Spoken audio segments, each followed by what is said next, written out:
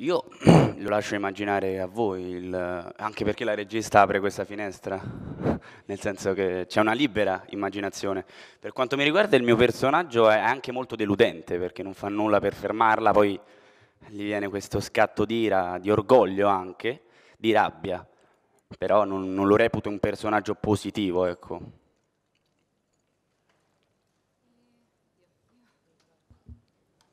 Mm, scusate l'emozione.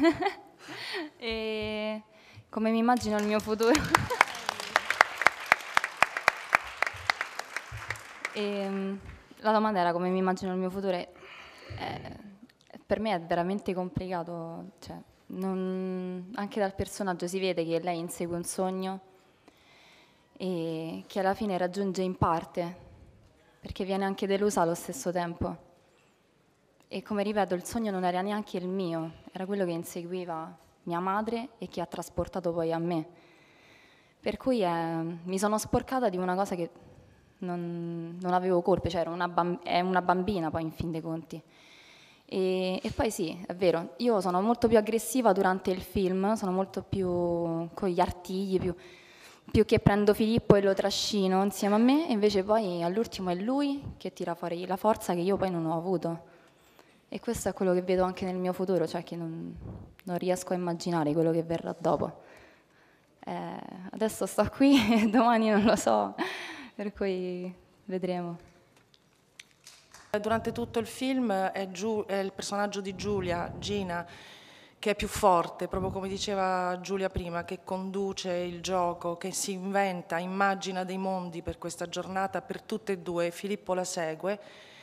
e alla fine, quando questa loro giornata si va a schiantare in qualche modo sul mondo adulto e quindi da ragazza e ragazzo fanno questa specie di passaggio a uomo e donna, è Filippo che ha la possibilità di, eh, che, che, che ha questo scatto e Giulia che invece che è stata molto forte per tutto il film eh, si cede. E questo secondo me è interessante, comunque sempre narrativamente sono interessanti i cambiamenti. Questo è un film che gioca molto sui cambiamenti di toni, come avete visto, passa dalla commedia, dalla leggerezza a un'estrema crudezza. E poi eh, è bello che appunto i personaggi fa, facciano quello che non ci si aspetta. E poi questo deriva anche da un'osservazione che ho potuto fare io personalmente eh, in quanto madre, frequentando moltissimi bambini e bambine, ragazzi e ragazze. Mi ha sempre colpito questo fatto che generalmente le bambine o le ragazze hanno spesso dei temperamenti più forti o sono più, più intraprendenti, più, più scafate, come si dice, dei loro amichetti maschi e poi quando si entra sulla soglia del dover invece essere donne e uomini, c'è questo ribaltamento, forse perché appunto il mondo fuori, fuori dall'infanzia e dall'adolescenza, va in un solito vecchio modo e questa forza, questa intraprendenza di queste ragazze, questa ragazza Giulia è molto forte, ha un carattere molto forte durante tutto il film e poi c'è questo crollo praticamente finale. Mi sembra abbastanza eh, vero, poi io non so se so fatto cerco di fare delle cose in cui credo, crederci, che siano secondo me vere, eh, precise, autentiche. Gli emblemi non lo so se si possano, sono due personaggi di una storia. Um, per quanto riguarda se questi ragazzi sono l'emblema, ecco, noi vogliamo fare un film su due ragazzi normali, cui, che pensano, per cui è passata l'idea che per diventare qualcuno nella vita eh, si possono fare anche queste cose, che non è una cosa strana, è una cosa, è una cosa che dura 5 minuti, che poi ce la dimentichiamo, però poi la vita si spalanca. E quindi un, proprio con Francesca per noi la cosa importante è che fossero due ragazzi appunto normali, ecco, non eh, particolarmente arrivisti, non particolarmente, eh, insomma, due come, come tutti, come tutti i ragazzi, come tanti ragazzi, ecco. Sono, volevo dire, c'è qui Claudio Bigagli, sono due personaggi che mi sono ispirata dal libro che ha scritto Claudio Bigagli, quindi poi ho cambiato molte cose nella trama, però sui caratteri dei due ragazzi sono, ci siamo molto avvalsi anche del lavoro di Bigagli nel, del suo libro.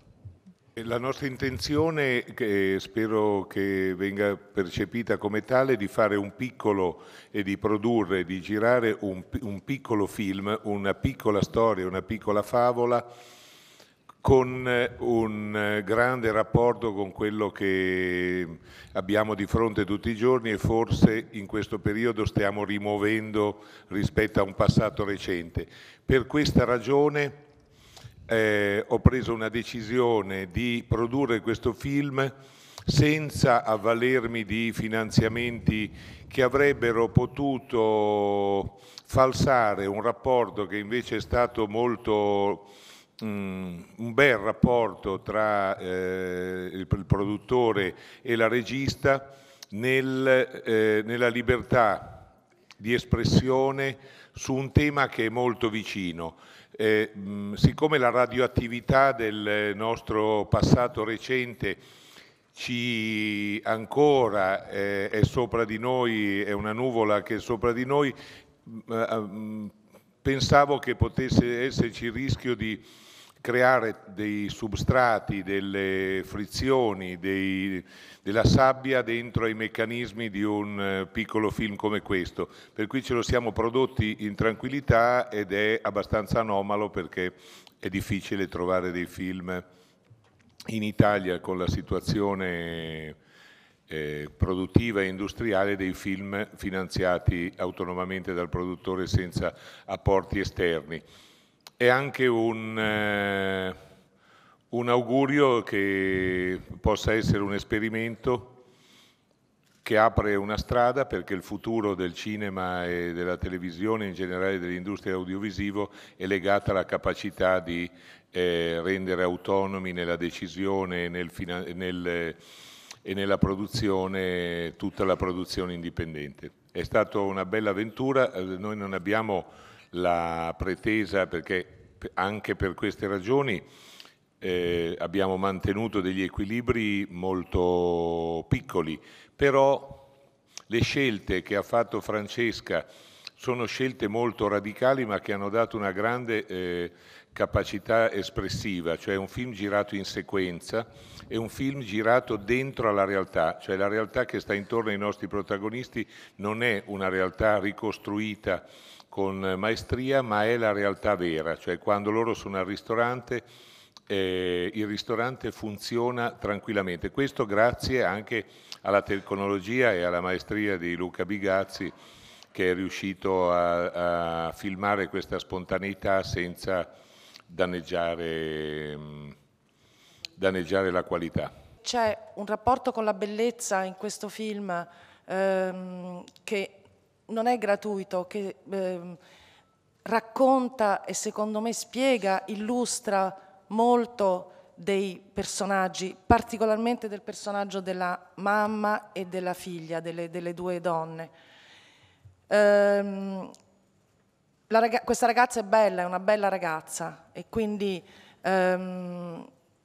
in qualche modo è stata condotta a credere, sua madre più di lei, che questa bellezza, cosa che viene ripetuta continuamente intorno a noi, la bellezza è un valore, ha un valore, eh, non solo un valore in quanto